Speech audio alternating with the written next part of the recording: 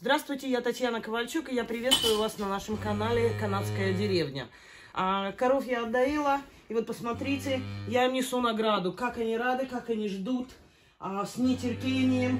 Даже вон Зинулечка у нас а, мукает, дайте, дайте, дайте ей. Все очень рады, вы пос- посмотрите, как, а, что произойдет дальше. Зиночка, Зинулечка, она моя дорогая, она сладенькая. That's a good girl.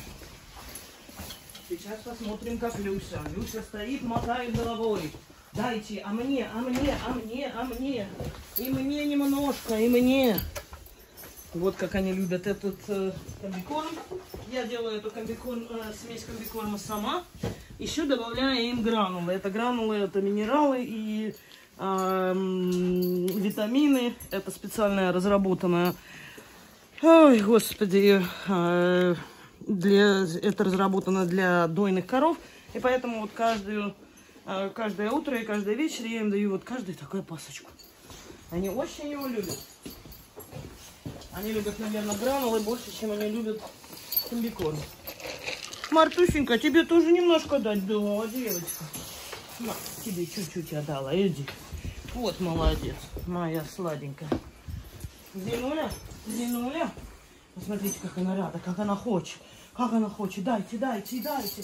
Я все люблю, я все ем. Все, дайте мне все.